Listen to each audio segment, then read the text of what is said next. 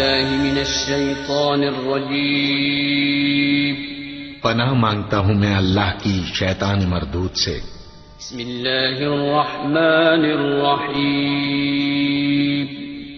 शुरू अल्लाह का नाम लेकर जो बड़ा, बड़ा मेहरबान निहायत रहने वाला है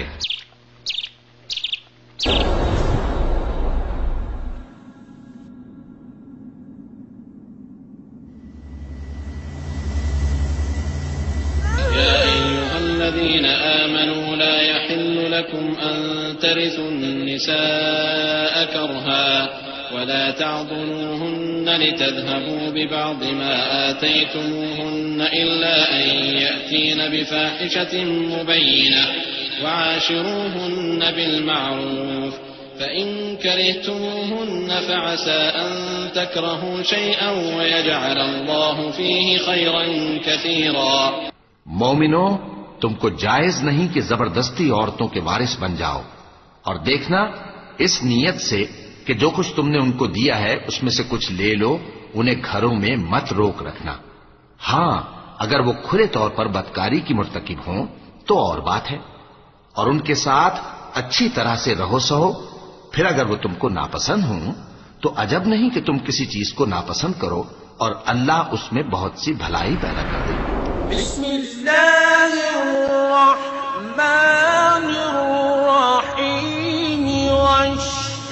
पूरा समाज इसमें है। आँखों का पानी मर चुका शर्म है, खो चुके हैं सब। तो वालदेन सबसे पहले जिम्मेदार है कि अगर किसी की लड़की भागी है अफेयर करती है तो कहीं ना कहीं घर का माहौल सपोर्टिव है, तभी वो कर रही है।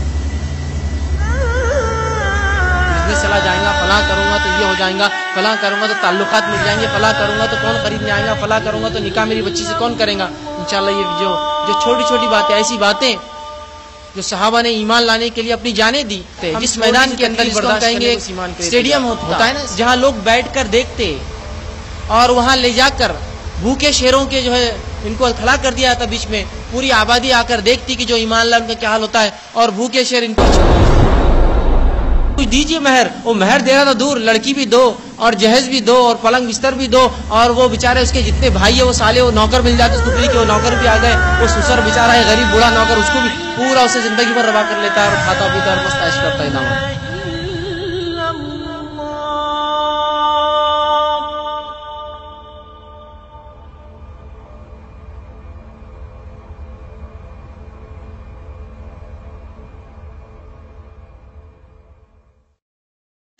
बसमीम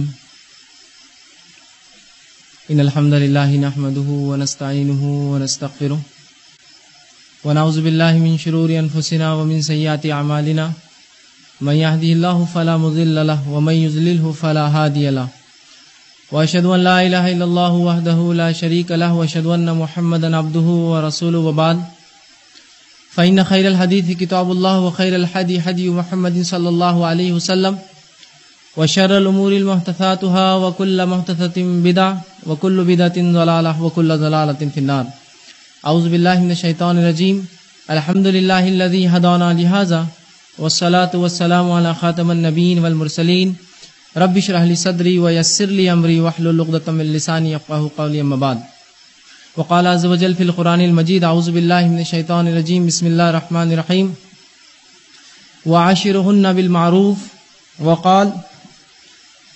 हन्ना लिबासुल्लकुम वन तुम लिबासुल्लहन वक़ाल नबी सल्लल्लाहु अलैहि वसल्लम अकमल मोमिनीन ईमान अहसनुम खुलका व खियारुकुम खियारुकुम लिनसाइहिम।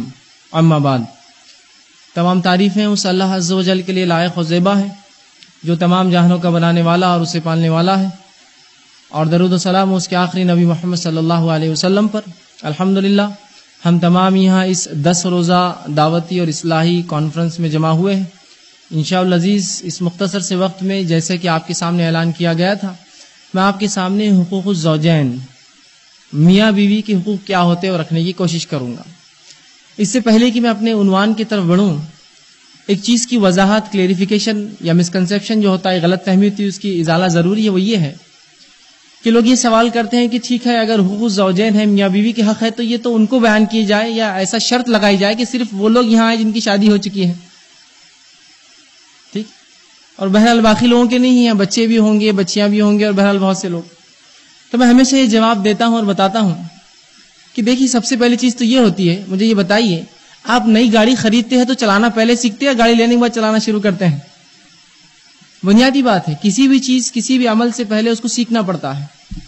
कोई भी चीज़ आप नहीं खरीदते हैं तो उससे पहले पुरानी को इस्तेमाल कर लेते हैं, उस पर जो एक्सपीरियंस करते हैं। अगर इल्म नहीं है तो उसके इल्म को हासिल करते हैं, चीज़ों को जानने की कोशिश करते हैं। तो उसी तरह हकूक जैन मियाँ बीवी के हकूक, ये वो हक नहीं है कि आप निकाह के बाद इसको जानने की कोशिश करें, बल्कि ये तो वो हकूक है जो इंसान निकाह से पहले जाने। इसलिए कि जिस दिन निकाह हुआ तो उस दिन तो ज़िम्मेदारी आ गई उसके ऊपर। अब अगर वो कोताही करे तो वो तो गुनाहगार हुआ। तो ये तो वो इल्म है जो इंसान इस अमल में जाने से पहले हासिल करे। ये बहुत बुनियादी चीज़ याद है कि इसको जानना इंतहा ज़रूरी है। तो उसी के तहत जो है गलत फहमी जो लोगों को होती है कि भाई इसमें तो गैर शादीशुदा लोग भी है तो बहरहाल वो तैयारी कर रहे हैं अपने निकाह के लिए। तो ज़ाहिर सी बात है, उनको हकूक मालूम होना पहले ज़रूरी है। वो जब हक जानेंगे तो ज़ाहिर सी बात है, जब वो निकाह करेंगे तो उन हकूक को देने की कोशिश करेंगे वो। उस चीज़ की अहमियत को जानेंगे वो। निकाह क्या है, वो जानेंगे वो। निकाह की सुन्नतें क्या है, उसके आदाब क्या उसके हकाम क्या उनकी शराय क्या है, जब उन्हें इल्म होगा तो उस पर अमल करने की कोशिश करेंगे। तो गोया ये वो चीज़ है जो इंसानों को, या हम जो है, मुसलमान अपने बच्चों को पहले से तरबियत देंगे। और ज़ाहिर सी बात है, निकाह की उम्र तो बालिग हो जाए तो इंसान का निकाह किया जा सकता है, लड़का हो या लड़की हो। ठीक? तो जहर सी बात है, जब बालिग होने के बाद उसका निकाह हो रहा है तो उससे पहले वो जाने। और बलागत मैं समझता हूँ, बहुत, ये कोई ऐसी उम्र नहीं कि इंसान तीस चालीस का हो तो जब बालिग होता है, बहुत कम उम्र होती है, इंसान बालिग हो जाता है। गोया ये ये इल्म तो उसको उससे पहले आना है, कि वो तमाम चीज़ें जान ले, ताकि उसका निकाह हो जाए, पैगाम आ जाए तो बहरहाल उसको पता है। वरना होता यूँ है कि लोग हकूक क्या है? मियाँ बीवी के हक क्या है? निकाह होता क्या है? निकाह का मामला क्या है? इसकी सुन्नत कुछ भी नहीं जानते हैं। निकाह हो जाता है और बस निकाह के दिन ही भागते फिरता है वो इंसान। होता है ना सब सी बार ये क्या दुरुस्त है? क्या वो क्या करना है? क्या ऐसा क्या करूँ? क्या फला चीज़ होना है? क्या ये क्या दुरुस्त होगा? और इतना परेशान होता है कि कभी कभार वो निकाह की खुशी उसकी एक तरफ़ होती है, सिर्फ़ वो इस परेशानी में होता है कि इसमें कुछ गलत काम तो मुझसे नहीं हो जा रहा है। तो गोया पता ही चला कि पहले जानना ज़रूरी है। लेकिन यकीनन मेरा उनवान आज वो नहीं है कि मैं आपको बताऊँ कि निकाह उसके शरायत और वो तफसीलात इंशाल्लाह वो उनवान मेरा सत्तावीस कहूँगा सुन्नत निकाह। आज मेरा जो उनवान है वो ये है कि मियाँ बीवी के हक क्या होते हैं, हुकूक क्या होते हैं? एक दूसरे पर उन पर क्या आयद होता है? क्या चीज़ें उन दोनों पर वाजिब होती है जब वो दोनों मिलते हैं? शरीयत के माते हैं तो क्या चीज़ें होती है जो औरत के मर्द के लिए ज़रूरी है कि औरत वो हक अदा करे? और क्या वो बातें हैं जो मर्द के लिए जानना ज़रूरी है कि औरत के वो हक है? ताकि जब ये दोनों मामले वाजे हो, दोनों को अपने अपने हक का इल्म हो तो इंशाल लजीज एक खुशगवार, एक अच्छी ज़िंदगी इंसान गुजार सकता है। इस मामले में हालाँकि किताब सुन्नत ने बड़ी रहनुमाई की मुसलमानों की इतनी रहनुमाई की इतनी रहनुमाई की कि नबी अकरम सल्लल्लाहु अलैहि वसल्लम की ज़िंदगी की वो पहलू भी जो आपके अपने अजवाज के साथ खिलवत के है वो चीज़ें जो ज़ाहिर नहीं होती आम, आम इंसान बताता नहीं है वो तमाम बातें भी ज़ाहिर अल्लाह रबुल्जत ने करवाई ताकि उम्मत को उस चीज़ की नसीहत मिले तरबियत मिले सबक मिले कि क्या करना है। तो सुबहान अल्लाह अल्लाह के रसूल सल्लल्लाहु अलैहि वसल्लम जो सबसे पाकिजा शख्सियत है दुनिया में, उसकी ज़िंदगी के वो हालात भी हमारे सामने रखे गए, ताकि उसमें भी हमारे रहनुमाई हो, जिन हालात को हम उमूमन एक दूसरे से बात करना पसंद नहीं करते हैं। सहावियात से आकर उमहतुल मोमिनीन से आकर लोग सवाल करते थे, फला मसला फला मसला? और वो जवाब देती थी, इसलिए कि वो उन पर वाजिब था कि ये चीज़ें बताए, ताकि उम्मत की औरतों पर जब वो मसाइल आए तो उसका हल हो, उम्मत के मर्दों को मसला पेश आए तो वो मामला उनके सामने वाजे हो। तो ये अल्लाह रबुल्जत का बड़ा करम रहा इस उम्मत के ऊपर, कि उसने तमाम बातें हमारे सामने वाजे कर दी। चाहे निकाह निकाह के मसाइल, उसके बाद की तमाम चीज़ें और मियाँ बीवी के हक सब कर दिए। लेकिन ये, हम कहेंगे ये हमारी बदनसीबी है कि हम लोगों ने वो हक ना जाने, ना उसको समझा, ना उसको अदा करने की कोशिश की, जिसका नतीजा ये होता है या ये हो रहा है या ये हुआ है माजी में, पास्ट में ये हुआ है, कि इतने मसाइल आए हैं इस उम्मत के सामने और लोगों को ये लगा कि इसका हल यहाँ नहीं है। तो लिहाजा हम अपने हक को लेने के लिए उन जगहों पर जाए ऐसी जगहों पर जाए जहाँ यकीनन गैर शरी तौर से हकूक मिल, मिलते हैं। और कभी कभार वो हक जालिमाना भी हकूक होते हैं। जो शरीयत भी उसको हक नहीं देती है ना दुनिया के कानून भी कहता है दुरुस्त नहीं है। लेकिन उसके बावजूद वो हक दिलवाए जाते हैं। और उसके बाद क्या क्या बहरहाल तमाशे होते हैं आप तमाम लोग जानते हैं। तो मियाँ बीवी के हकूक ये बड़ी अहम चीज़ है। इसलिए कि मियाँ बीवी का रिश्ता ही ऐसा होता है। ये रिश्ता बड़ा नाजुक है याद रखिए। इसके हकूक भी बड़े अजीब अल्लाह रब्बुल इज़्ज़त ने बयान किए उसके नबी ने बयान किए। इसको समझना बहुत ज़्यादा हमें ज़रूरी है। और नबी अकरम सल्लल्लाहु अलैहि वसल्लम जैसा जब उसवा होता है, नमूना होता है, आइडियल होता है एग्ज़ाम्पल होता है तो बात बहुत जल्दी हमें समझ में आती है लेकिन अजीब बात है कि हमने इस मामले को शर्म के नाम पर कभी ढक दिया कि नहीं नहीं, ये बेशर्मी होंगी, ऐसी बातें बयान करना। या कभी इस वजह से ढक दिया कि लोग कहाँ समझेंगे, इतनी अकले कहाँ है लोगों को कि वो समझे दीन और शरीर की बात।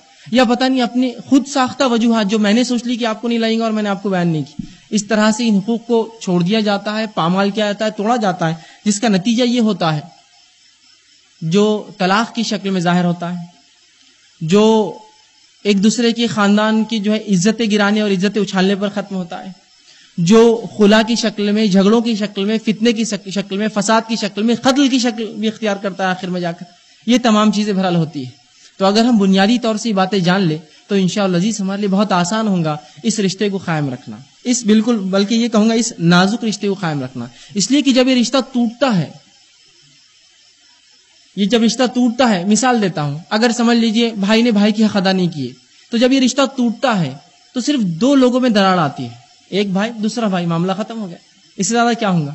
कुछ भी नहीं होता ना इससे ज़्यादा। कोई फितना ज़्यादा नहीं मचता, दोनों एक दूसरे को बुरा भला कहते हैं, थोड़े दिन बाद मामला रफा दफ़ा होता मिल भी जाते हैं।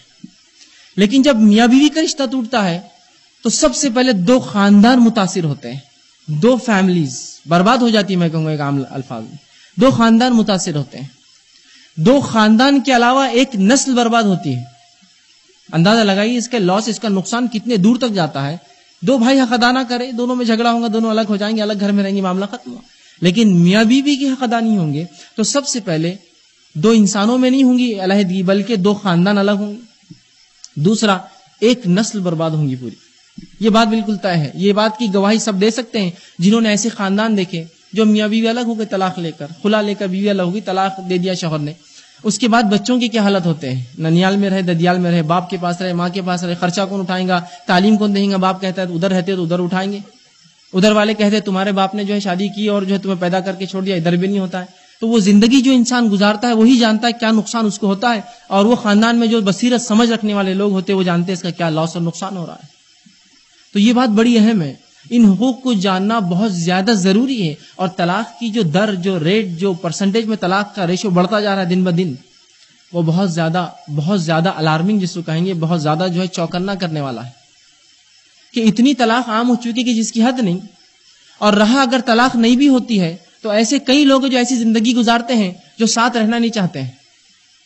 लेकिन साथ रह रहे हैं। इसलिए कि ना साथ रहने की हक मालूम, ना अलग होने की हक मालूम है। कि साथ रहे तो कैसा रहे, अलग होना है तो कैसा हो? कुछ भी नहीं पता है। लिहाजा बस मामला फितने और फसाद पर जाकर जो है खत्म हो जाता है। तो ये हुकूक जानना बहुत ज़्यादा ज़रूरी है। दो खानदान और एक नस्ल बर्बाद करते हैं, हुकूक अगर नहीं जाने इंसान और उसको वो करे और इसके अलावा जो जहनी नुकसान होते हैं, मुझे बताने की ज़रूरत ही नहीं है। जो उसके लड़की के बाप को जहनी नुकसान, उसकी माँ को जहनी नुकसान। लड़की के वालदेन को जहनी नुकसान। समाज और माशरे में फिक्रमंद लोगों को जहनी नुकसान। इतना तबाही मचाता है कि जो कंस्ट्रक्टिव वर्क हमारा, जो जहन खाली रहने से जो हम कुछ काम अच्छा कर सकते हैं, वो तमाम सलाहियत और क़वतें इन तमाम मसाइल में बर्बाद हो जाती है। तो इन हकूक़ को मैं कहूँगा, बहुत गौर से जानिए, बहुत अच्छे से पढ़िए बहुत अच्छे से समझिए, इसको लिख लिख कर निकालिए अगर लगे तो अगर याद नहीं रहते हैं तो। ये बहुत अहम चीज़ है याद रखिए। और इसी तरह हर हक अहम है शरीयत में, लेकिन ये हकूक ज़्यादा अहम है, इसलिए कि इसके नुकसान ज़्यादा होते हैं। और अल्लाह रबुल्ज़त को दो लोगों का मिलना, ये पसंद आता है, ये अमल पसंद है, जब भी उसने शरीयत में निकाह का हुक्म दिया। और उसी तरह अल्लाह के नज़दीक दो लोगों का अलग होना यह बहुत ही नापसंदीदा है। एक एक मर्द और एक औरत का, एक मियाँ और बीवी का दोनों अलग होना, अल्लाह को इंतहाई नापसंद है। और दूसरे अल्फाज में कहूँगा कि रहमान को नापसंद है तो रहमान को जो चीज़ नापसंद होती है, वो शैतान को सबसे ज़्यादा भाती है। जो भी चीज़ अल्लाह को नापसंद है, शैतान के लिए वो बहुत चीज़, वो जो अच्छी होती है। अल्लाह रबुल्जत तोहहीद चाहता है तो शैतान को शिरक पसंद है। अल्लाह रबुल्जत दीन सुन्नत चाहता है कि लोग सुन्नत शैतान को बिदतें पसंद है तो राइज करता है। तो गोया जो अमल अल्लाह को महबूब है तो गोया उसका बरक्स अमल जो है शैतान को महबूब होता है। तो जहाँ अल्लाह रबुल्जत चाहता है कि दो लोग मिले, उनमें उल्फत हो, इंसानी नस्ल आगे चले, इंसान जो अपनी शर्मगाह की हिफाजत करे, वहीं शैतान चाहता है कि दो लोग अलग हो, शर्मगाह की हिफाजत ना हो, इंसानी नस्ल खत्म हो जाए, इंसान ऐसी दुनिया में मर जाए। तो याद रखिए, निकाह बड़ी अहम चीज़ है, और साथ में मियाँ बीवी के हक जानना बड़ा अहम है। और बहरहाल, जब लोग तलाक भी देते हैं तो ऐसे ऐसे वाकत बहरहाल सामने आते हैं। ऐसी छोटी छोटी वजूहत होती है, जिनको सुनकर एक इंसान खुद जिसने वो अमल किया, कभी अकेले में बैठ जाए और कभी सोचे, गौर करे तो वो कभी बार हंसेगा उस अमल पर। गो, रोना आना चाहिए उसको। लेकिन वो हंसेगा एक तरह से कि मैंने क्या किया अपने हाथों से। और ये हँसी, उसकी हँसी वो होंगी जो इंसान गम से जो होता है ना, बौखला जाता है तो हंसता है कभी कभार। वो हँसी हंसेगा। इसलिए कि भाई मैंने पानी लाओ बोला था, उसने पानी नहीं लाई, इसलिए मैंने तलाक दे दिया उसको। होता है ना, तलाक तुमको। तुमने पानी नहीं लाया, अब तक आधा घंटा होगा मैंने तुमको कहा था। कुछ लोग तलाक दे रहे हैं कि मैं बिस्तर साफ़ नहीं रहता मेरा इसलिए मैं अपनी बीवी को तलाक दे दिया। किसी ने बस उसने कोई तोहफा लाया, लेकिन तोहफा उस लायक नहीं था कि मैं कबूल करूँ। या जो है छोटी सी अनबन की बस तू तू मैं तो होती रहती याद रखी। थोड़ा सा कुछ हो गया और बस कह दिया तलाक है। तो गोया ये दुरुस्त नहीं है याद रखी। ये छोटी छोटी वजूहत तो होना ही नहीं चाहिए। क्या वाकई में इतनी छोटी छोटी वजह? हाँ शरी वजूहत बताइए, कोई हो सकती है कि भाई एक इंसान है जो तोहिद परस्त है, उसके निकाह में ऐसी बीवी आ गई जो शिरक करती है, वो समझा समझा के थक जा फिर तलाक दे। एक इंसान है जो खातून है, वो तोहहीद परस्त है। और वो चाहती है उसका शौहर हलाल कमाए, लेकिन शौहर जो हराम से रुकता ही नहीं है, वो थक गई। और वो नहीं चाहती कि उसकी आने वाली नस्ल हराम खा कर जिए। वो कहती कि मुझे खुला चाहिए शरई वजह हुई। बिल्कुल ऐसा जायज़ चीज़ हुई कि वाकई में उसको जो एक शरई चीज़ चाहिए, हलाल रोजी। और उसका शौहर नहीं ला कर दे पाता। या ऐसी कुछ वजूहत हो जो वाकई में शरीयत कहे कि वो पाँच वक्त की नमाज़ नहीं पढ़ता है, कह कहकर थक गई, खातून थक गई, शौहर से पढ़ो नहीं पढ़ता है मर्द थक गया, बीवी से कहकर पढ़ो नहीं पड़ती तो ये वजूहत हो सकती है कि इंसान इस बुनियाद पर जाकर खाजी के पास कहे कि भाई, ये तो नमाजी नहीं है और नमाज़ तो ये कुफ्र और ईमान का फ़र्क है, शिरक और ईमान का फ़र्क है तो ये हो सकता है। लेकिन वजूहत तो आप देखिए, दारुल खुजात जाइए या आप फैमिली कोर्ट जाइए तो वहाँ आपको वजूहत ऐसी ऐसी मिलेंगी जिसकी कोई इंतहा नहीं। और उन वजूहत को डिफाइन करने के लिए, उसको जायज़ ठहराने के लिए फिर जो झूठ गढ़ा जाता है, वो आप सब जानते हैं, मुझे बयान करने की ज़रूरत नहीं है। किस हद तक इंसान झूठ बोलता है? कैसे कैसे इल्ज़ाम तराशियाँ एक दूसरे पे होती है? एक दूसरे के खानदान पर, एक दूसरे के कैरेक्टर पर मुझे लगता है मुझे बताने की ज़रूरत नहीं। तो बहरहाल, मियाँ बीवी के हकूक बड़े अहम है। अल्लाह रबुल्जत चाहता है कि ये दो लोग मिलकर रहे। वहीं शैतान चाहता है कि दो लोगों में अलहदगी इख्तियार करे। हमें चाहिए इन हकूक को जाने और हम जो है इन हकूक को अदा करने की बहरहाल जो है कोशिश करें। नबी अकरम सल्लल्लाहु अलैहि वसल्लम की बासत से पहले औरतों की क्या हालत थी? मैं बहरहाल मुख्तसर बयान करना चाहूँगा। ताकि मैं पूरा उस तरफ़ आऊँ कि अल्लाह रब्बुल इज़्ज़त ने इस दिन के ज़रिए क्या अता किया है मर्दों को और बिलखसूस औरतों को। शरीयत इस्लामिया से पहले औरतों की जो हालत थी वो ये थी कि इनका मामला ये था कि ये या तो एक गुलाम समझी जाती, या तो एक नौकर जैसा इसका मामला था, या तो बहरहाल एक इस्तेमाल की चीज़ थी, या फिर आखिर इसके हकूक जानवरों से गए गुजरे थे। ये हाल था औरतों का। आप सल्लल्लाहु अलैहि वसल्लम जब आए तो अरब के कुछ कबाइल ऐसे भी थे जो अपनी लड़कियों को दफन करते थे, वो सब नहीं करते लेकिन ऐसे कबाइल भी मौजूद थे, जो लड़कियों को दफन कर देते थे। अगर कोई शख्स मर जाता तो उसकी बेटियों को सिर्फ़ ये आज देते, उस यतीम लड़की को कि हम तुम्हारा अच्छा निकाह करेंगे, और उसकी विरासत ना जाए बोल के उसका कभी ज़िंदगी भर निकाह ही नहीं करते। कभी ये होता कि विरासत दूसरे घर में ना जाए तो जब भाई मर जाता तो घर का बड़ा ताकतवर मर्द क्या करता कि उस उस आदमी के दूसरे जो बीवियों से लड़के होते थे, उससे उन औरतों का निकाह मतलब सौतेली माओ से निकाह कर देते थे, ताकि विरासत घर के घर में रहे। इसी तरह जो है, बहरहाल क्या सुलूक था? बहरहाल बताने की मुझे ज़रूरत नहीं। इस इस हद तक गिरा हुआ था कि अगर लड़की पैदा हो जाती तो लोग उसको जो है दफन कर देते थे। नबी अकरम सल्लल्लाहु अलैहि वसल्लम के पास एक सहाबी रसूल का अल्लाह के रसूल, मैंने जो है इस्लाम से पहले जब इस्लाम लाया तो कहा, क्या इस्लाम लाने के बाद मेरे गुनाह माफ़ होंगे? जबकि मैंने ऐसा संगीन जुर्म किया कि मैंने अपनी तीन लड़कियों को ज़िंदा दफनाया। एक नहीं, दो नहीं, तीन लड़कियों को। इसलिए कि उनके नज़दीक अगर कोई ये कहे कि इसे दामाद है तो शर्म की बात थी। दामाद है मतलब लड़की। लड़की मतलब ये तो बिल्कुल बेकार आदमी है। ये तो सोसाइटी में गिरा हुआ शख्स है। ये तो अदना है बदतर है। ये बिल्कुल कुछ भी नहीं है। तो लोगों को शर्म आती, दामाद है बोलना। इसलिए बेटी को पैदा होते ही दफन कर देते ज़िंदा दफना दिया जाता था। तो याद रखिए, बहुत बहुत जो है हम कहेंगे, बहुत बड़ा जुल्म है। और ये हर इंसान नहीं कर सकता है, सिवाय इसके कि समाज इतना प्रेशर डाले, इतना बोझ डाले कि इंसान मजबूर हो अमल करने तो उस जमाने में इस्लाम जो आया, नबी अकरम सल्लल्लाहु अलैहि वसल्लम की बासत हुई और आपने जो है औरतों के उनके हकूक दिलवाए। बल्कि अगर कोई शख्स इस्लाम की तालीमत को जो है पढ़े तो वो देखेंगे कि नबी अकरम सल्लल्लाहु अलैहि वसल्लम की तालीमत का अगर निचोड़ निकाले तो ये था औरतों की इज़्ज़त और अजमत जो है शरीयत ने दी। गोया इंसानियत के आधे तबके को इज़्ज़त दिलाई शरीयत ने। जो जानवर समझा जाता या उससे भी बदतर। और ये अरबों की ही सिर्फ़ औरतों की हालत नहीं थी अरबों में, बल्कि हिंदुस्तान में क्या हालत है मुझे बयान करने की ज़रूरत नहीं ब्रिटिशर्स के कानून बनाने से पहले, अठारह से पहले यहाँ की औरतों का भी क्या हाल था? जब इंसान मर जाता तो ये एक औरत के लिए खुश नसीबी थी कि वो जो है उसके साथ जल जाए। तो यहाँ भी कोई बेहतरीन हक नहीं थे उसके। इसी तरह यूनान में भी औरतों के कुछ खास हक नहीं थे, सिवाय इसके कि अगर कोई मर्द किसी का कत्ल कर दे तो उसके बदले उसकी औरत को कत्ल कर दिया जाता, उसकी बीवी को मार दिया जाता। अजीब कानून है ना? अकल में नहीं आता। कत्ल करूँ मैं और मारा जाए मेरी बीवी को, मैं उसके बदले मार दो। इसलिए कि आदमी को कत्ल नहीं किया जा सकता। औरत उसकी जो है रिप्लेसमेंट होंगी, वो बलि दे देंगे उसके बदले और उसकी बीवी को कत्ल कर दिया जाता। यह हालत थी। उस दौर में इस्लाम आया और उसने खातून को हक दिया। ऐसा हक दिया कि जिसके ताल्लुक से तस्वुर करना मुहाल है। उस दौर जहालत को देखे, फिर उन हकूक को देखे तो फिर आज के दौर की खातन ये कहेंगी अल्हम्दुलिल्लाह, जितना सुकून और इतमान ये शरीत ने दिया शायद हम नहीं पाते सुकून इतमान अगर किसी और मज़हब में, किसी और जगह, किसी इलाके में पैदा हुए। थे इतना इस शरीयत ने हमको दिया है रखिए। और ना सिर्फ़ औरतों को दिया, हमको भी तो दिया। यही औरत हमारे माँ के शक्ल में भी तो है। यही औरत हमारे बीवी की शक्ल में भी तो है। यही औरत हमारी बेटी की शक्ल में भी तो है। तो हक तो मुझे भी दिया इस शरीयत ने, सिर्फ़ औरतों को कहा दिया? मेरा भी तो बेनिफिट हो उसके अंदर। कि मैं आज माँ की इज़्ज़त और ताजीम करता हूँ इसलिए कि शरीयत ने वो हक दिया। अगर ना देता तो अगर मैं चाहता भी तो अपनी माँ के साथ वही बुरा सलूक करता जो समाज करता। बल्कि नबी अकरम वसल्लम के ज़माने में जब एक खासिद रसूल अकरम वसल्लम से मुलाकात के लिए जो है फारस से आया, जो फारसी था, मजूसी था, जब वो आया, एक अहकाम लेके कि तुमको जो खुसरो ने बुलाया है, तुम्हारी गिरफ्तारी का वारंट निकला है, इसलिए कि तुम हमको दावत दे रहे हो इस्लाम की। तुम जहल और बद्दू लोग, जिन पर हमने हुकूमत किया आज हमको बताओगे दीन और शरीद इस्लाम क्या है, लिहाजा तुम्हारी गिरफ्तारी का वारंट है। नबी अकरम वसल्लम को वही हुई और आपको बताया गया कि वो बादशाह मर चुका है, जिसने वारंट दिया था।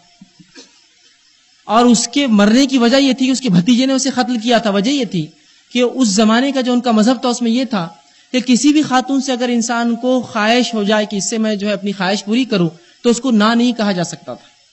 और इस भतीजे की जो माँ थी उसके साथ एक वज़ीर ने कहा था, उस बादशाह को, बादशाह, मैं इसके साथ जो है मुँह काला करना चाहता हूँ। और उस बादशाह ने कहा, चूँकि वक्त का कानून वही था, उसने दे दिया। इस लड़के को बहुत बुरी बात लगी थी कि मेरे माँ के साथ ये सलूक हुआ। और उसने क्या किया, अपने चचा को कत्ल कर दिया और खुद बादशाह बन गया। तो ये हालत थी याद रखी कौमों की, कि इस तरह से औरतों के साथ सलूक होता था। तो गोया वो एक जहर जो भी होगा, उसका मज़हब कुछ ना कुछ तो उसके दिल में बात थी अपनी माँ की तरफ़। तो शरीयत ने ना सिर्फ़ औरतों को ऊँचा किया, हमें भी ऊँचा किया कि हमें वो हक दिए। कि हम उनको हक दे सके। तो शरीयत ने औरतों को बहुत उभारा, इनके हकूक को बहुत ऊँचा किया और इनके ऐसे हक दिए और शरीयत की खसूसियत है, जिसको जो चाहिए शरीयत वही देती है अदर की। एकदम सादी मिसाल दूँगा बात समझने के लिए। अगर एक बल्ब है, उसको 400 वैट चाहिए तो शरीयत कहती है 400 दो, इसको 600 ना दो, ये खराब होगा, उससे कम देंगे भी तो ये खराब हो जाएँगे। किसी चीज़ को इतनी ताकत चाहिए तो उतनी ही दो। तो उसी तरह शरीयत ने इनके भी हक दिए और इनके भी हक दिए, मर्द और औरतों के, दोनों के वैसे दिए। जैसे होना चाहिए था, उसकी हिकमत से दिए। हमारी सोच के मुताबिक होते तो फिर हम जो है इनको जलील कर देते और अपने आप को भी जलील कर हिकमत के साथ दिए। तो खातन का जो है शरीयत ने जो बहुत जो है मामला ऊँचा किया और नबी अकरम सल्लल्लाहु अलैहि वसल्लम की तालीम या उनके आपकी तालीमत आप पढ़ी खातन के ताल्लुक से इतनी बेहतरीन है कि ऐसी, ऐसे हक खातन के किसी भी ने, किसी ने भी नहीं दिया था। हती कि नबी अकरम सल्लल्लाहु अलैहि वसल्लम के ज़माने में औरतों को यह हक था कि वो अपने मशवरे और राय रखे। हती के आम जबान में कहेंगे, उनको राइट था कि वो वोट डाले। हाँ और ना कहे। रसुल्ला वसल्लम का औरतें आती, सवाल करती, बैत लेती, ये क्या है? जबकि यूरोप में और बाकी दीगर ममालिक ने जो ये दावा करते कि इन्होंने औरतों के हक दिए, मैं समझता हूँ आज से सौ साल पहले ये हक दिया कि औरतें वोट दे सकती है, वरना वो नाखिस शैतान की पैरोकार और पता नहीं क्या क्या उन्होंने उनके ऊपर जो है, जो अलखाब लगाए थे, जो आज उनके बराबरी के नाम से उनको जो हमारे बाजूला कहते दोनों बराबर है और साथ चलने का, बल्कि हाथ में हाथ डालने के, डालकर चलने का हक है। तो ये वही लोग थे जो सौ साल पहले ये सलूक करते थे औरतों के साथ। आज ये कर रहे हैं, कल और कुछ करेंगे। शरीयत का मामला पहले दिन से आज तक और क़यामत तक वैसे रहेगा। उसके हक जो है वो यकीनी इंसानी फितरत के मुताबिक हक है। तो शरीयत ने वो दिया जो चाहिए थी। और लेकिन इसके अंदर अल्लाह रबुल्ज़त ने कुछ को कुछ मामले पर फजीलत दी, कुछ को कुछ मामले पर फजीलत दी। इस बात को हम समझे। जब मैं ये कह रहा हूँ कि शरीयत ने खातन को हक दिया, औरतों को हक दिया तो कुछ लोग ये सोच सकते हैं, ये कैसे हक होंगे कि हमको तो फला चीज़ का हुक्म और उनको तो फला है। मेरे को तो ये कहा, उनको तो ये कहा। तो ये कैसे हक हुए? हक तो वो होते हैं जो बराबर हो। याद रखिए, मैंने इसलिए पहले बयान कर दिया, शरीयत हर किसी को उतना देती है जितना उसके लायक है। जितना उसको चाहिए, उससे ज़्यादा भी नहीं और उससे कम भी नहीं। तो अल्लाह रब्बुल इज़्ज़त ने, ये बात बिल्कुल दुरुस्त है। कि मर्दों को कुछ मामले में खवाम रखा, ऊँचा रखा, औरतों को कुछ मामले में जो वो किया। लेकिन अल्लाह के सामने इनके हकूक जो है बराबर है, इनकी हैसियत बराबर है, इनकी इबादतों का जो बराबर है, इनके गुनाहों की सजा बराबर है। अल्लाह रब्बुल कुरान फरमाता है, सूरह निसा, सूरह नंबर चार, आयत नंबर चौतीस में फरमाता है अर रिजाल कवामून मर्द जो है खवामियत रखता है, एक दर्जा ऊँचा रखता है, औरतों के मुकाबले में, आगे फरमा, बीमा फजल बाजुम अला बाज। इसलिए कि अल्लाह ने बास को बास पर फजीलत दी है। ये अल्लाह का मामला है, उसकी चॉइस है, उसकी मर्ज़ी है। इसलिए कि अल्लाह ने बास को बास पर फजीलत दी है, वह बीमा अनफिक मिन अमवालिम और इसलिए कि ये तुम पर अपने माल खर्च करते हैं। ये मर्दों को क्यों खवाम रखा? इसलिए कि मर्द माल खर्च करता है। औरत का जो है नानो नफका इसके जिम्मे है तो लिहाजा इसको खवामियत दी गई इस मामले में। ठीक? तो ये बात समझने की ज़रूरत है। कि शरीयत ने हक बराबर दिए, लेकिन जिसको जो चाहिए था वो दिया, और जिसको जिस फ़ील्ड में आगे बढ़ाना था वहाँ बढ़ाया, जिसको जिस फ़ील्ड में पीछे रखना था वहाँ रखा। सीधी सी बात। बहुत से लोग ये सवाल करते हैं कैसी अजीब बात है, अगर शरीयत इस्लामिया अगर इंसाफ की बात करती है, अदल की बात करती है तो फिर औरतों और मर्दों का मामला बराबर होना चाहिए। नमाज़ में तो आप आगे खड़े होते हैं, औरतें पीछे होती है। अगर मुस्लिम ऐसा सोचते हैं। लेकिन सीधी सी बात है, जब मैं गाड़ी चलाता हूँ तो खुद आगे बढ़ता हूँ, बीवी को पीछे बिठाता हूँ। कहीं ऐसा होता है, कोई मुझे परेशानी या डर लायक हो तो मैं खुद आगे चलता हूँ, बीवी को पीछे रखता हूँ। ये थोड़ी कहता बाजू चलो, मेरे हम दोनों बराबर है। कि तो यहाँ मुझे अल्लाह रब्बुल इज़्ज़त ने जिसमानी एतबार से मज़बूत बनाया है, मैं आगे रहूँगा। जहाँ उनका मामला होगा, ज़ाहिर सी बात है वो आगे रहेंगे। अगर कोई मेहमान आ जाए और मैं बौरचा खाने में जाऊँ तो ज़ाहिर सी बात है फेल हो जाऊँगा बहुत जल्दी। वो कहेंगे, आप आप उधर जाइए, मैं ये संभालती ये उनकी फ़ील्ड है। समझ रहे हैं आप बात? तो यहाँ किसी मामले में किसी को खवामियत दी है, अल्लाह रब्बुल इज़्ज़त ने ये जो है, उनके फ़र्ज़ इसलिए कि ये जो है कमा कर लाते हैं। तो अल्लाह रब्बुल इज़्ज़त ने मर्दों को जो फजीलत दी, उसकी वजह ये बताई कि ये जो मर्द जो है, ये कमा कर लाते हैं। और अल्लाह ने बास को बास पर जो है फजीलत दे रखी है। इसी तरह, ये फजीलत की वजह जो हमें समझ में आती है वो ये है, एक तो जिस्मानी और जहनी। जिस्मानी और जहनी जो है, एक फजीलत ही है मर्दों की औरतों के ऊपर कि जिस्मानी तौर से मज़बूत होते हैं, और खातन के मुकाबले में। और ज़ाहिर सी बात है, दूसरी जहनी एतबार से जो है, ये जो है मुकम्मिल होता है। इस एतबार से मैंने कह रहा हूँ कि औरतें है और मर्द मुकम्मिल है। बताने का मकसद ये है कि जो है साइकोलॉजिकली औरतें जो है वीक होती है इस, लिहाज से कि बहुत जल्दी मुतासिर हो जाती है किसी से भी। मर्दों का मामला उसके बरक्स होता है सोचते हैं समझते हैं हालात को जांचते हैं और फिर मुतासिर होते हैं। तो अल्लाह रब्बुल इज़्ज़त ने इनको मज़बूत बनाया मर्दों को इसलिए औरतों का इनके माथे और इनके मशवरे लो। इसलिए कि ज़्यादा जानते हैं तुम लोग बहुत जल्दी मुतासिर हो जाती हो बहुत जल्दी जो है जिसको कहेंगे हम एहसास के अंदर भय पड़ती हो। ठीक? इसी तरह दूसरा ये कि मर्द कमा कर लाता है, इसलिए उसको खवामियत दी गई। वो अर्नर है, वो रोटी लेकर आता है, वो रिस्क जो है जमा करता है, अल्लाह ने जो दिया है, इस वजह से अल्लाह रब्बुल इज़्ज़त ने उसको एक पर दूसरे की फजीलत दी, याद रखी ठीक? इसी तरह, नबी अकरम वसल्लम फरमाते हैं, मर्दों की फजीलत के ताल्लुक से जो मर्दों की जो शोहर की जो आती है वो ये है कि अगर मैं, मुझे हक होता कि किसी को सजदा करने का हुक्म दूँ, सजदा ताजीमी जो होता है, ताजीमी सजदा जो किसी के सामने इंसान झुकता है, याद रखे शरीयत में हराम है। पिछली शरीयतों में बहरहाल इसका, इसके ताल्लुक से इसका जवाब था। जैसा कि अल्लाह रब्बुल इज़्ज़त ने जो फरिश्तों को हुक्म दिया आदम के सामने झुकने का, और जो है यूसुफ अलैहिस्सलाम के सामने जो उनके भाइयों का झुकना, ये पिछली शरीयत का मामला था। इस शरीयत में आप सल्लल्लाहु अलैहि वसल्लम फरमाते, अगर मुझे हक होता कि किसी को किसी के लिए सजदा करने का हुक्म दूँ तो मैं औरत को हक दे, हुक्म देता, बीवी को हुक्म देता कि शोहर के सामने सजदा करे, लेकिन इसकी भी इजाज़त मुझे नहीं मिली है। गोया पता चला सजदा ताजी भी इस उम्मत में किसी के लिए भी नहीं। और ये वाकई की वजह ये थी कि कुछ सहाबा बिलखसूस सलमान फारसी रज़ी अल्लाह ये रूम जाकर आए। जब रूम गए तो उन्होंने देखा लोग उनके बादशाह के सामने झुकते हैं। तो जब ये रसुल्ला के पास आया तो कहा, नबी तो ज़्यादा हक रखता है बादशाहों के मुकाबले में झुकने का। आप झुके तो रसुल ने कहा ये क्या कर रहे हो? तो कहा, अल्लाह के रसूल वो फारस के और जो है रूम के बादशाहों के सामने लोग झुकते हैं। आप ज़्यादा हकदार है तो कहा, नहीं। अगर हक होता मुझे किसी को देने का हुक्म सजदा ताजीमी का तो मैं बीवी को हुक्म देता कि शौहर के सामने करे, लेकिन इसकी भी मुझे इजाज़त नहीं दी गई तो पता चला, मर्दों के हक में बताना चाह रहा हूँ कि खवामियत क्यों दी गई? इसलिए कि ये कमा कर लाते हैं। इसलिए कि जो है जहनी और जिस्मानी एतबार से जो है ताकत रखते हैं। ठीक? लेकिन ये बात बिल्कुल नहीं है कि अल्लाह रब्बुल इज़्ज़त ने औरतों पर जुल्म किया, ये करके।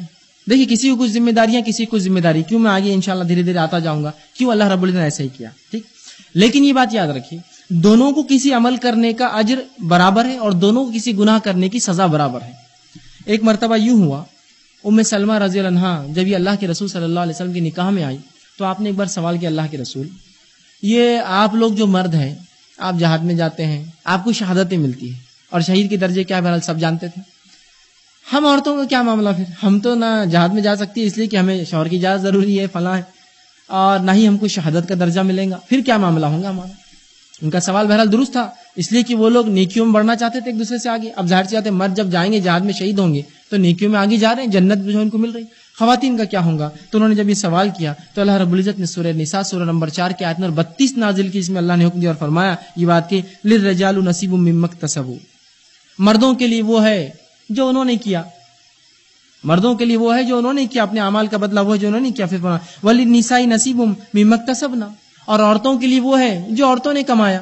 जो औरतों ने किया, जो अमाल उन्होंने किए। और फरमाया वस अल्लाह फजली और ए मुसलमानों, तुम अल्लाह से उसका फजल तलब करो। तो ये आयत ने ये बताया कि अल्लाह ने जिसको जो काम दिया है, उससे उसकी पूछ करेगा।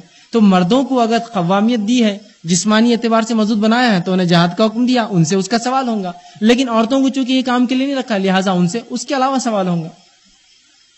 समझ रहे बात दोनों के अमाल जैसे करेंगे, उसके मुताबिक उनका फैसला होगा। तो जो इन्होंने कमाया इनके लिए जो उन्होंने कमाया उनके लिए, जो मर्दों ने कमाया मर्दों के लिए, जो औरतों ने कमाया अमाल की इतबा औरतों। मतलब जिसको जिस काम का हुक्म दिया वो वो काम करे। अगर वो करेगा तो उसके भी दर्जात बुलंद होंगे। अल्लाह इज़्ज़त उसको, उसकी पूछ करेंगे और उसके मुताबिक उसको भी अज्र दिया जाएगा, याद रखिए। तो पता चला कि किसी मामले में इनकी फजीलत है, किसी मामले में इनकी फोकियत है। लेकिन बहरहाल, बिल आखिर दोनों के हकूक जो है, बराबर है। आइए सबसे पहले नबी अकरम सल्लल्लाहु अलैहि वसल्लम की ज़िंदगी से हम जानने की कोशिश करते हैं। दिल बस्तगी के वाक़ जो मैं लिख रहा हूँ, क्या ये नुकात मेरे अपने दिल के बनाए? क्या ऐसा तो नहीं मैं आपको बता रहा हूँ, भाई ये कीजिए और बाद में पता चला ये तो गलत था। मैं इंशाल्लाह हवाले आपके सामने रखता जाऊँगा। अल्लाह रब्बुल इज़्ज़त कुरान ने फरमाता है, मैंने खुतबे के अंदर दो आयतें और एक हदीस आपके सामने पढ़ी। आयतों के वो हिस्से थे, मुकम्मल आयतें नहीं थी। अल्लाह फरमाता है सूर्य निसा सूर्य नंबर चार, आयत उन्नीस, और फरमाया वो आशिरहन बिल मारूफ। इनके साथ अच्छी ज़िंदगी बसर करो। बिल मारूफ, अच्छाई से इनके साथ ज़िंदगी बसर करो। उसने माशरत, वही मैं आपके सामने रख रहा हूँ। वो आशिरहन बिल मारूफ, इनके साथ अच्छी ज़िंदगी बसर करो किन के साथ? अपनी बीवियों के साथ। अल्लाह ने हुक्म दिया हम पर वाजिब किया कि हम अपनी बीवियों के साथ अच्छा सलूक करें। दूसरी आयत जो मैंने पढ़ी थी सूर्य बकरा सूर्य नंबर दो की आयत में एक सौ सतासी थी, जिसमें अल्लाह फरमाता और कहता है, हुन्ना लिबासुल्लकुम वो अंतुन लिबासुल्लहुन कि तुम्हारी बीवियाँ तुम्हारे लिबास है और तुम उनके लिए लिबास हो। लिबास क्या काम करता है? ड्रेस क्या काम करता है? आप सब जानते हैं। लिबास सबसे पहले तो जिस्म के उन आजाओं को छुपाता है जो आजा हम नहीं चाहते कि लोग देखें। जिस्म के नुस्खों को छुपा लेता है, कमजोरियाँ हैं, जिस्म जला हुआ है, खराब है, नुस्खों को छुपा लेता है, ऐबों को छुपा लेता है मुकम्मल। दूसरा, जीनत का ज़रिया बनता है। खुश, खुशनुमा इंसान दिखता है, जो है, जब वो लिबास पहन लेता है। तो जिस, जैसे लिबास काम करता है, अल्लाह फरमा रहा है कि तुम इनके लिए लिबास हो, वो तुम्हारे लिबास है। मतलब जैसे लिबास काम करता है कि बुराइयों को, सतर को ढाकता है, कमजोरियों को नुक्स को छुपाता है और जिस तरह से खूबसूरती और जीनत बनता है, उसी तरह तुम दोनों का रिश्ता है, मियाँ बीवी का रिश्ता है, कि ये उसके लिए लिबास है और ये उसके लिए लिबास है। यह बिल्कुल वाजह है कि कोई खातून जो है अपने शोहर की बुराइयाँ ना करे, कोई शोहर अपनी खातून अपनी बीवी की जो है दूसरों के सामने बुराइयाँ ना करे। इसलिए कि लिबास किसी को ज़ाहिर करता है कि उसके जिस्म के अंदर क्या है, या इस कपड़े के पीछे क्या छुपा है क्या बुराइयाँ, क्या नुक्स है जिसमानी एतबार से। नहीं पता चलता है। बल्कि वो तो खुशनुमा बताकर इंसान के अच्छे अच्छे नुक्स छुपा लेता है। तो कहा, तुम इनके लिए लिबास हो, ये तुम्हारा लिबास है। और तीसरी जो थी, तिरमिजी की हदीस मैंने पढ़ी थी, अल्लाह के रसूल ने फरमाया और कहा अकमलमोमिनीना ईमान वालों में कामिल ईमान वाला वो है, जिसके अखलाक सबसे अच्छे है। वह खयारकुम खयारकुम निसाइहिम और तुम में बेहतरीन वो है। पहले तो फरमाया, तुम में बेहतरीन ईमान के अतबार से अकमल, कामिल ईमान वाला वो है, जो अपनी बीवियों के साथ अच्छा है और तुम में बेहतर वो है फिर। अखलाक वालों में बेहतर वो है जो अपनी बीवी के साथ अच्छा है।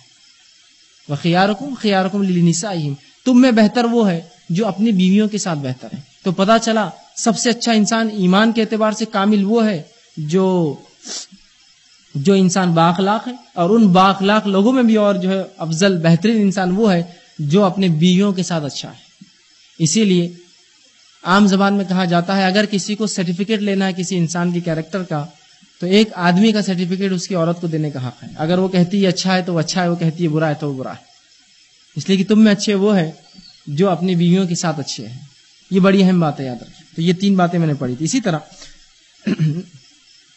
नबी अकरम सल्लल्लाहु अलैहि वसल्लम अपनी बीवियों का इतना ख्याल रखते, इतना ज़्यादा ख्याल रखते, कि एक मरतबा, आप सल्लल्लाहु अलैहि वसल्लम के कुछ अजवाज जो है, कुछ लोग जो है गुलाम उठाकर ले जा रहे थे। एक गुलाम जो है तेज चलने लगा, जिसका नाम अंजशा था। थोड़ा तेज चलने लगा। तो नबी अकरम सल्लल्लाहु अलैहि वसल्लम ने कहा, हाय अफसोस अंजशा, शीशे जैसी नाजुक औरतों के साथ तुम ये सलूक कर रहे हो? भाग रहे हो लेकर इस जो है, उसको ऐसा भागोगे तो ज़ाहिर सी बात है, औरतें नाजुक होती है, कुछ नुकसान हो जाएगा। तो कहा, अफसोस अंजशा, तुम्हें इतना भी नहीं समझ में आया कि शीशे जैसी नाजुक औरतों के साथ ये सलूक नहीं करना चाहिए? तो गोया जिस शरीयत ने औरतों के साथ अगर सवारी तेज ले जाना, जिससे कुछ नुकसान हो सकता है, उससे मना किया तो शरीयत इनको मारने का, जुल्म करने का, कत्ल करने का, जलाने का, इनके हक ना देने का हुक्म कैसा दे? कितनी सीधी बात है। अगर लेकर चलो सीधा तो इससे बड़ी क्या चीज़ होती फ़िज़िकल सेंस में। कि उठाकर ले जा रहे थे, तेज चले। तो कहा, अफसोस अंजशा तुमको इतनी अकल नहीं आई कि शीशे जैसे नाजुक औरतों को ऐसा लेकर भागते कुछ हल्लू करो, धीरे चलो उस मामले वो धीरे हो गए और फिर धीरे लेकर चलने लगे। तो इतनी रसूलुल्लाह सल्लल्लाहु अलैहि वसल्लम ने इस मामले में जो वो की। इसी तरह अजवाजी ज़िंदगी हमें अगर गुजारना है, एक अच्छी मैरिड लाइफ शादीशुदा ज़िंदगी इंसान को गुजारना है तो इसके मामले में याद रखिए, एक उसूल याद रख लीजिए। ये उसूल में दो बातें हैं, एक मोहब्बत और दूसरा एतमाद।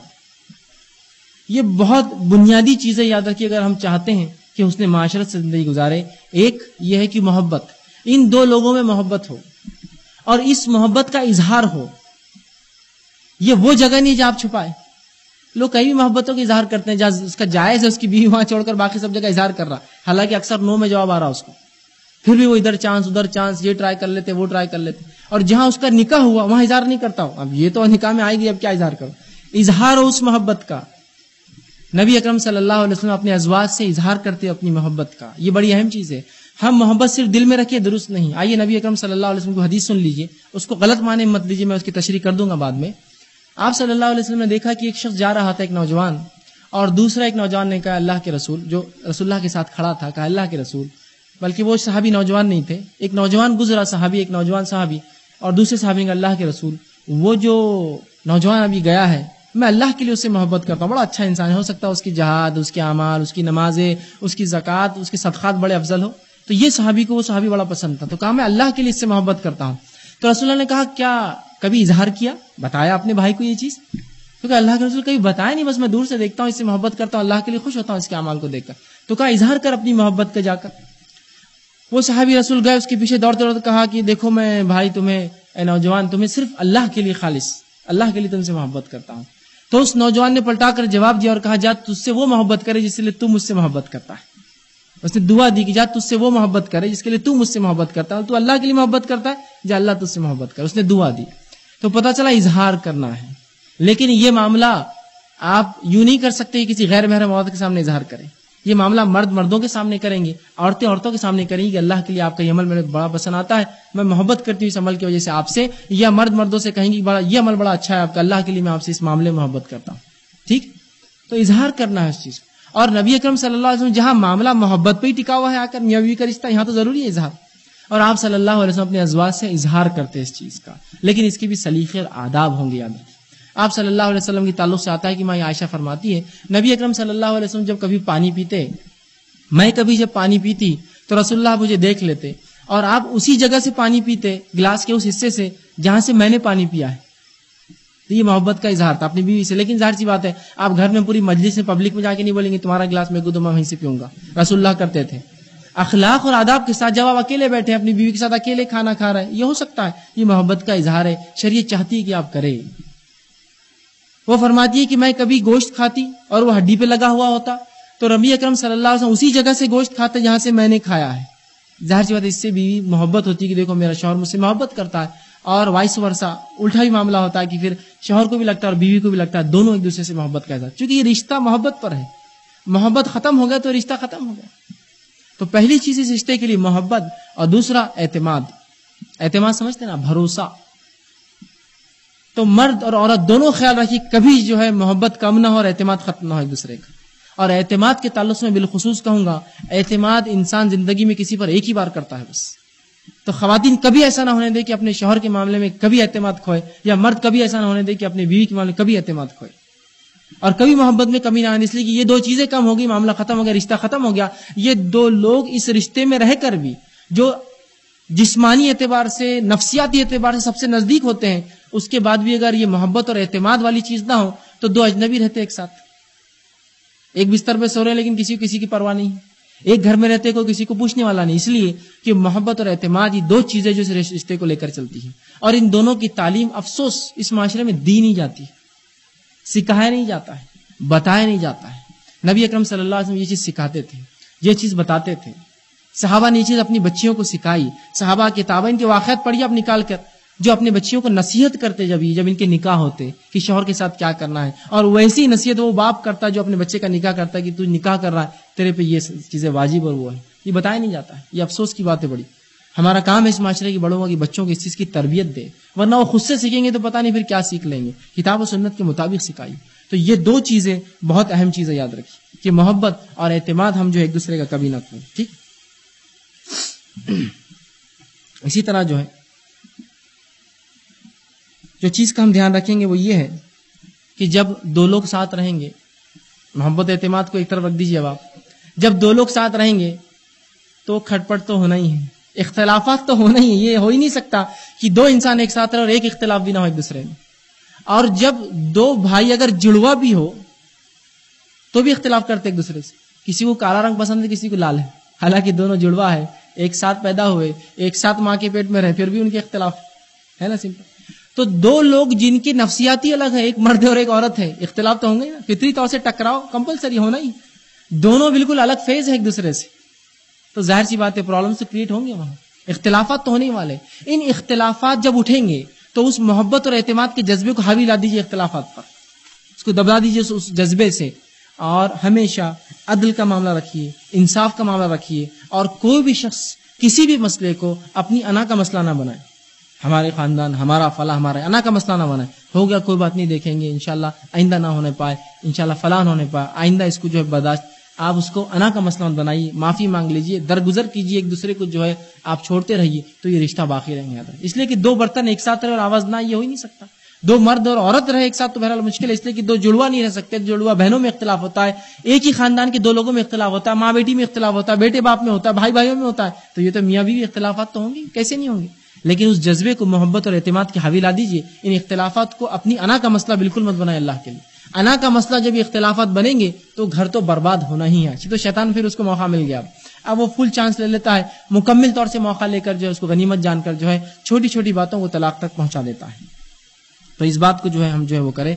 और अल्लाह रब्बुल इज़्ज़त ने सूरह निसा में यही बात फरमाया नंबर 128 में और फरमाया वसुलहु खैर। देखो, सुलह कर लिया करो ज़्यादा बेहतर है।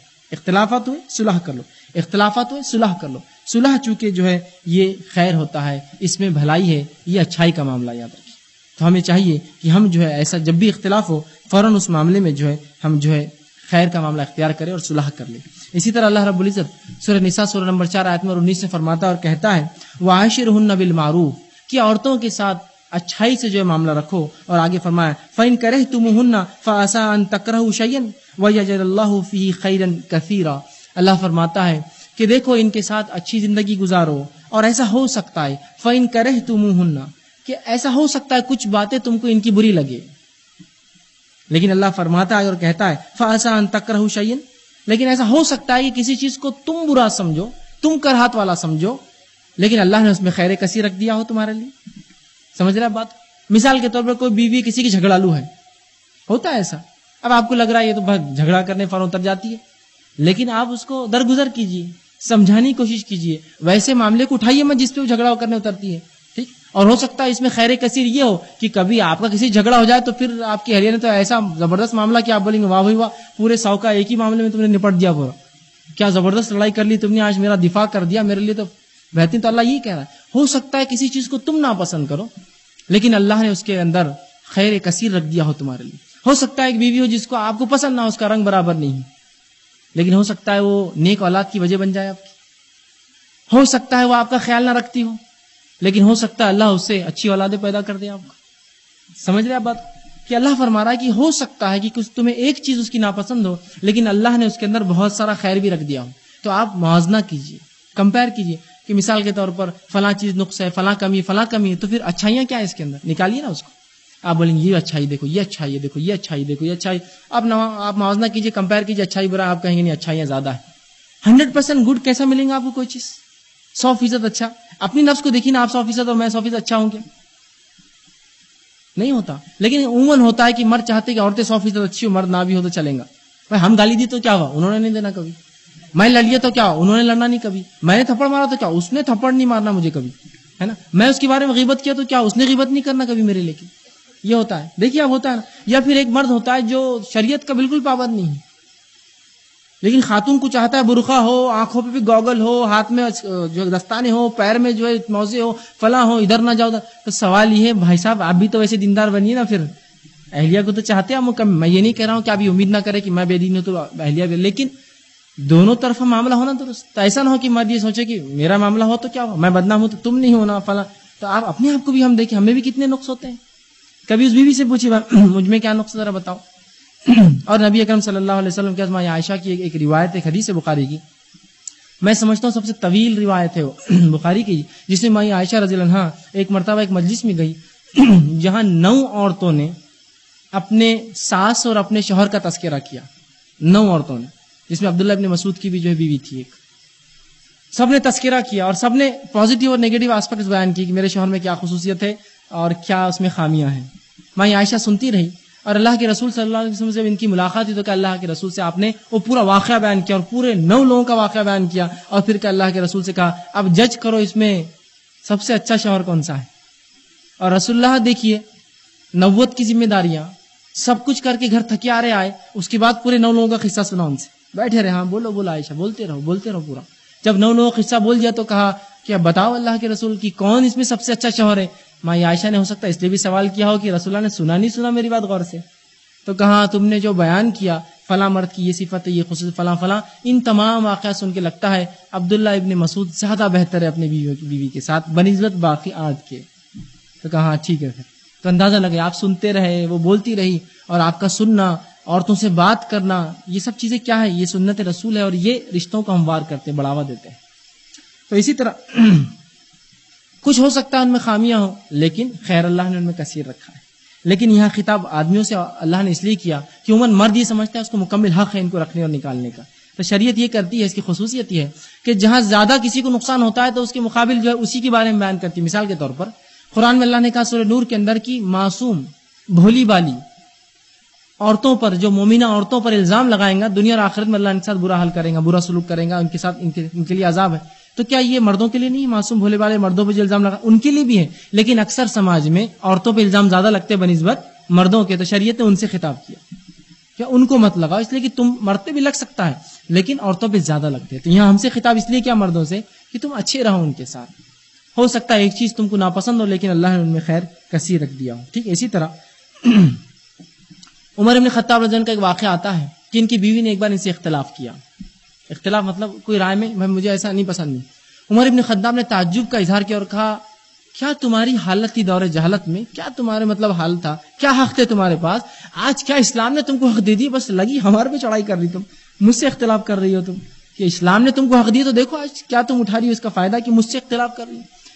तो इनकी बीवी ने जवाब दिया, आप मुझे तो बड़ा कह रहे हैं कि मैं इख्तलाफ कर रही हूँ। अपनी बेटी हफ्सा वो कभी नहीं पूछते। वो तो अल्लाह के रसूल से भी कभी कभी इख्तलाफ करती है। रसूल्ला उससे भी नाराज़ होते हैं क्यों अपनी बेटी का नहीं बोलते। मेरा बोल रहे, मैं इख्तलाफ कर रही तो पता ही चला कि नबी अकरम सल्लल्लाहु अलैहि वसल्लम से भी उनकी बीवियाँ इख्तलाफ करती थी। ये इख्तलाफ कोई शरी इख्तलाफ हाँ और ना का, ईमान और गैर वो नहीं था। छोटा ये करो ने मुझे ये नहीं करना, ये करना।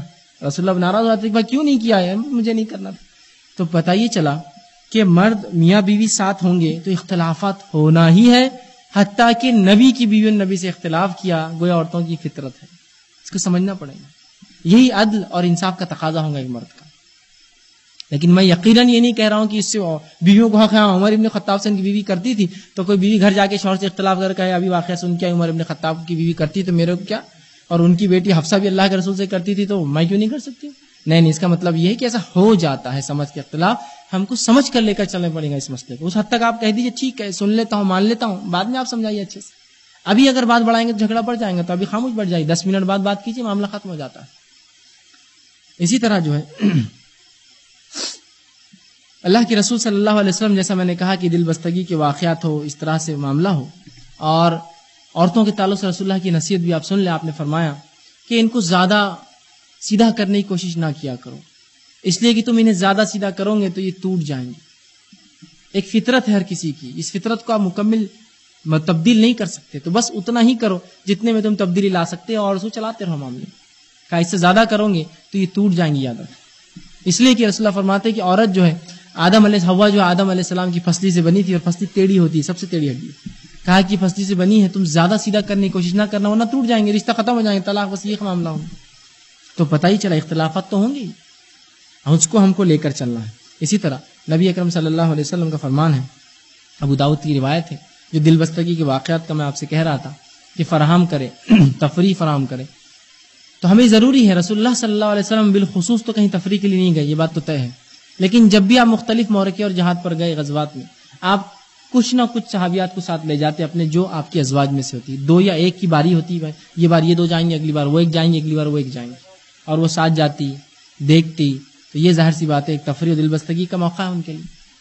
इसी तरह एक वाक़ आता है कि माँ आयशा रजन फरमाती अबू दाऊद की रिवायत है।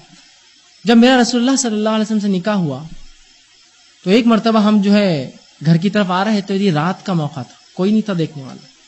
और मदीना कोई बहुत बड़ा शहर भी नहीं था और स्ट्रीट लाइट्स भी नहीं होते थे उस जमाने में। रात का मौका था रसुल्लाह ने मुझसे कहा, आयशा, मुझसे दौड़ लगाऊँगी? तो अल्लाह के रसूल हाँ दौड़ लगाएँगे, चलिए। वो फरमाती कि अल्लाह के रसूल सल्लल्लाहु अलैहि वसल्लम भी दौड़े और मैं भी दौड़ी। और चूँकि मैं उम्र में कम थी रसुल्लाह से, और दुबली पतली थी, मैं आगे आ गई और मैं जीत गई। ये मामला खत्म हुआ। वो फरमाती, बाद में एक मौका ऐसा आया, जब शादी को काफ़ी जमाना हो गया, और मैं फरबा जिसम की हो गई थोड़ी सी मोटी हो गई। रसुल्ला ने फिर मुझे एक बार उसी मौके, उसी वक्त, उसी जगह कहा कि आयशा, आज दौड़ लगाऊँगी उतना ही डिस्टेंस उसी जगह से? तो कहा, अल्लाह रसुल हाँ आज भी दौड़ लगाएँगे। और मैं भी भागी और आप सब भागे। लेकिन आप सल्लल्लाहु अलैहि वसल्लम इस मामले में आगे बढ़ गए और फिर मुझसे कहा, आयशा, पिछले का हिसाब बराबर हुआ। तुम पहले जीती थी, अब मैं नेक्स्ट मैं जीत गया। तो देखिए रसुल्ला यहाँ दिल बस्तगी की वाकत फराम कर रहे नहीं कर रहे यकीनन इसका आप अदर वे ना ले कि आप गुलमंडी जैसे चौक पर जाएँगे और वहाँ बोलेंगे, अब रसुल्ला करते थे, मैं भी वहाँ से दुकान तक दौड़ लगाऊँगा। इसको आप शरीयत के जो इसकी इफ़त है, इसकी पाकबाजी है, इसका लिहाज रखते हुए समझना इन वाकयात को हम। कि वो रात का मौका था कोई देखने वाला ना था। तब आप दौड़े। ठीक है, बात समझ में आ रही? तो पता चला ये दिल बस्तगी के वाकयात तो थे जो आप फराम कर रहे थे अपने बीवियों को। और बिलखसूस माई आयशा रजन हाँ ये उम्र में काफ़ी कम थी। रसुल्ला का इंतकाल हुआ तो इनकी उम्र उन्नीस साल थी तो अंदाज़ा लगा सकते आप। तो बीवी अगर कम उम्र हो शोहर से तो उसको तो बहुत ज़्यादा उसको ख्याल रखना पड़ेगा, इसलिए कि इसकी उम्र कम है। बल्कि रिवायत में आता जब इनका निकाह हुआ और इनकी विदायगी हुई तो विदायगी में गुड़िया भी साथ थी। बल्कि ये रसूलुल्लाह सल्लल्लाहु अलैहि वसल्लम के निकाह में आने के बाद भी कभी अपनी सहेलियों को बुलाकर खेला करती थी घर में। देखिए आप, अंदाज़ा लगाए। तो पता चला बीवी अगर इतनी छोटी थी, उम्र में तो रसुल्ला उसको उस तरह से उसको जो मना रहे थे, उस तरह से उससे मोहब्बत कर रहे थे, उस तरह से उससे मामला रख रहे थे जिस तरह से उसकी उम्र का तकाजा था, उसकी एज का तकाजा था, उसके एज ग्रुप का तकाजा था। तो ये चीज़ों को हमको समझना पड़ेगा। अब इंसान समझता नहीं। इस मामले को और बल्कि रसुल्ला का मामला उनकी दूसरी बीवी से बरक्स था। देखिए आयशा रज़ी के मुकाबले में। हद खतीजा का मामला उल्टा था उम्र में ज़्यादा थी। आप सब उनकी हमेशा रिस्पेक्ट करते थे। और वो रसुल्लाह के साथ कुछ ना कुछ ऐसा अमल करती जिससे दिल बस्तगी का मौका मिलते। क्योंकि उम्र में ज़्यादा थी रसुल्लाह उनसे कुछ करे, थोड़ा सा और था तो वो करती, जबकि इस बीवी के साथ आप खेल रहे हैं। देखिए अंदाज़ा लगाई तो कितनी समझ का तकाजा था अल्लाह के रसूल में कि बड़ी बीवी है तो उसका एहतराम, ज़ाहिर से लाजिम है, उसको हम नहीं छोटी बीवी उम्र में तो उसको आप समझा रहे हैं। तो ये दिल बस्तगी के वाकत फराम करना, ऐसे मौके देना ज़रूरी है। घुमाने ले जाना। लेकिन घुमाने से मुराद मैं नहीं कहूँगा कि ऐसी जगहों पर जाए जहाँ गंदे किस्म के लोग आते हैं, गंदी चीज़ें होती है, या गंदे काम होते हैं। लोग बीवियों घुमाने ले जाते हैं थिएटर में। थिएटर को घुमाने की जगह है। ये कोई मौका है, आप वहाँ ले जाए उस जगह में। वहाँ तो जाकर आप फहाशी सिखाएँगे उसको। ज़ाहिर सी फिर कैसे उम्मीद करेंगे कि वो आपके निकाह में दुरुस्त रहे? जब आप उसको दिखा रहे गंदी चीज़ें, जीना जीना के अलावा क्या होता है? हर हर पिक्चर और टीवी की बुनियाद जीना, कुछ ना कुछ जीना ही रहता। कुछ ना कुछ ऐसे मामला होता है जो तमाम के तमाम हराम कारियों जो है वो तो ये होता है। तो इसको समझने की हमें ज़रूरत है कि फराम कर ऐसे मौके, अच्छी जगह होती है तफरी गाहें होती है। ऐसी जगहें होती है जहाँ इंसान सीख सकता है, कुछ ऐसी जगह ले जाए जहाँ सीखे वो। ये बहुत ज़्यादा अहम और ज़रूरी याद रखें, ठीक इसी तरह जो है नबी अकरम सल्लल्लाहु अलैहि वसल्लम अपनी बीवियों की दिलजोई के लिए घर के कामकाज भी करते किसी ने एक बार सवाल किया कि अल्लाह के रसूल के घर के हालात क्या होते जब आप नबूत की जिम्मेदारियों से फारिग हो घर जाते, क्या करते? तो माई आयशा ने फरमाया, रजल अल्लाह के रसूल जब नबूत की ज़िम्मेदारी से फारिग होकर घर आते तो कभी आप बकरियों का दूध धो देते, कभी मुझे आटा गूंद देते, कभी जो है कपड़ों में पेमन लगा लेते अपने खुद जूते को सीलिया करते और हमारे काम काज में हाथ बटाते। तो पता चला नबी अकरम सल्लल्लाहु इतनी जिम्मेदारियों के बावजूद भी नबूत की बीवों के कामकाज में हाथ बटाते थे। अंदाज़ा लगा ये नबी है। और आखिरी नबी अल्लाह की ये उसवा है हमारे लिए। इनकी न, इन, इनकी ज़िंदगी हमारे लिए नमूना है। क्या कभी हमने ये किया? हम तो ये समझते अब निकाह हो गया तो नौकरानी आ गई घर के अंदर। अब तो हंड्रेड परसेंट वर्क उसको करना है। और अगर कभी पानी उसने मांग ले बेचारी मजबूरी में तो ओ ये तो हक मेरा था पानी मांगना। आपने कैसे पानी मांग लिया? रसुल्ला काम कर रहे हैं, आटा गूंद रहे हैं, घर के कामकाज में क्या नहीं हो सकता? है सब अलग, वो फरमाती, हाथ बताते हमारे, बल्कि खुद के काम तो खुद ही करते, पेवन लगा लेते, जूते सी लेते फट जाते थे। बाकी हमारे काम भी जो है कर देते थे। गोया अपना काम आकर नहीं बोलते, हमारे काम आकर जो है सहूलत कर देते थे। तो ये हमको करना पड़ेगा, इससे मोहब्बत, उल्फत बढ़ती याद रखी ठीक? इसी तरह जो है तामाशी तहफ़ मर्द को अल्लाह रब्बुल इज़्ज़त ने कव्वाम बनाया, उसकी वजह क्या है? माशी तहफ़ वो जो है रिस्क जो है, रोजी लाता है कमा कर अल्लाह के रसूल सल्लल्लाहु अलैहि वसल्लम एक बार सवाल किया, एक सहाबी अबू दाऊद की रिवायत है, और कहा, अल्लाह के रसूल, के बीवियों के हम पर क्या हक है? माशी एतबार से, फाइनेंशियल क्या उनके राइट्स है हमारे ऊपर? तो आप सल्लल्लाहु अलैहि वसल्लम फरमाया कि बीवियों पर तुम्हारा ये हक है। और फरमाया और कहा, बीवी का हक ये है तुम पर के जब तू खाए तो इसे खिलाए। जब तुम खाते हो तो इसको भी खिलाओ। ठीक? ये नहीं कि तुम खा ले रहे और उसको नहीं खिला लो। उसके लिए भी जो कुछ ना कुछ करो। जो तुम खाते उसको खिलाओ। जो तू पहने, इसे भी पहनाए। मतलब अगर तुम एक लिबास खरीदते हो तो इनके लिए भी एक लिबास ज़रूर लो। जो तू पहने, इसे भी पहना और ऐसा ना हो कि उसका नाखिस हो और आपका जो अच्छा हो, बल्कि जो तू पहने, वो उसे पहना है इस तरह फरमाए। अगर कभी कुछ हो जाए तो इसके चेहरे पर कभी हाथ ना उठाए। कुछ भी हो जाए, चेहरे पर इसके हाथ ना लगाए। चेहरे पर ना मारे। इसको बुरा भला ना कहे। कोस ना काटना इसको आम जबान में। बुरा भला ना कहे इसको। और आखिर में फरमाया, अलहदगी इख्तियार करने का इरादा भी करे तो घर से ना निकाले उसको बिस्तर अलग करे सर या तुम उधर सोना, मैं इधर तुमसे नाराज़ हूँ। घर से अलग नहीं करना। किसी घर से अलग हुआ कि फिर शैतान बीच में आता है, उधर भी लोग उछलते, इधर भी उछलते मामला क्या होता है, सबको पता है। तो कभी अपने बिस्तर अगर अलहदगी इख्तियार करे तो घर से मत निकालना इसको कभी अपने बाहर कितने अच्छे राइट्स बताया आपने, जिसके अंदर दो राइट्स तो उसके जो है बिल्कुल फाइनेंशियल है। उसका माशी तहफ़ है कि उसको हम दिया जाए, ठीक? इसी तरह एक सहाबी अल्लाह के रसूल के पास और अल्लाह के रसूल। मेरे पास एक दिनार है, क्या करूँ? तो आप सल्लल्लाहु अलैहि वसल्लम मुस्नद अहमद की रिवायत है अनफिक वाला नफ्सिक, अपनी नफ्स पे खर्च कर ले। कहा, एक और है, क्या करूँ? तो कहा अनफिक वाला अहलिक, बीवी पर खर्च कर, फिर जब ज़्यादा है तेरे इस्तेमाल फिर कहा, एक और है, क्या करूँ? तो कहा अनफिक वाला वाला दिख बच्चों पर खर्च कर अपने।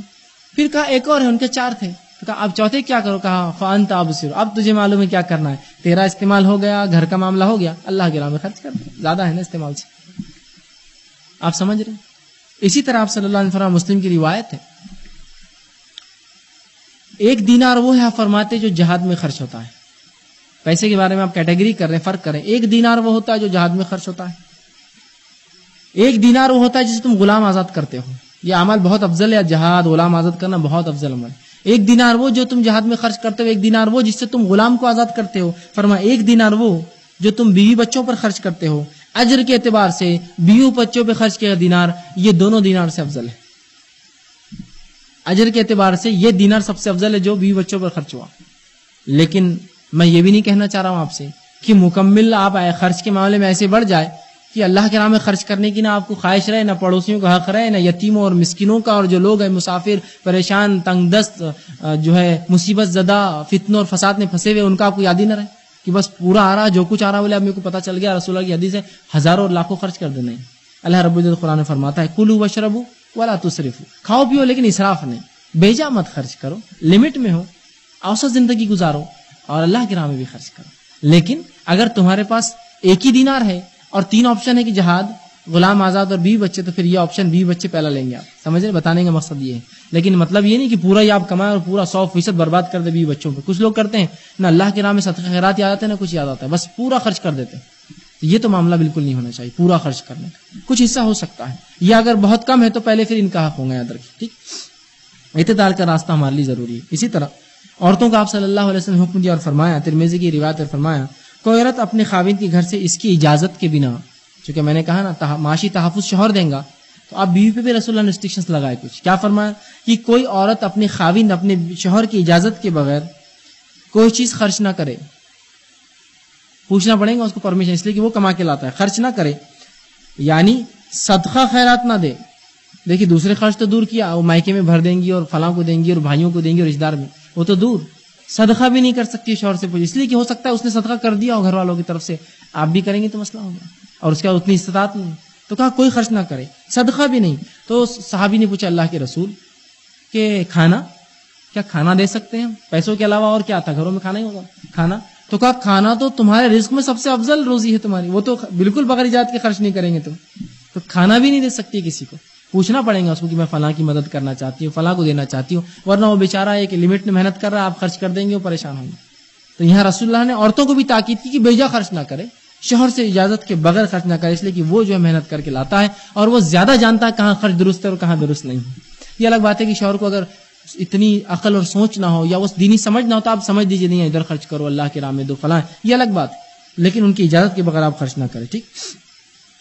इसी तरह जो है खातन भी अपने शोहर की सतात के मुताबिक खर्च करें, याद रखें ये भी एक बड़ा जो है, बुरा मामला है इस उम्मत में कि खातन शोहर की सतात को नहीं देखती, बेजा खर्च करती, बेजा अंधाधुन बस माल आया, खर्च कर दिया, माल आया, खर्च कर दिया।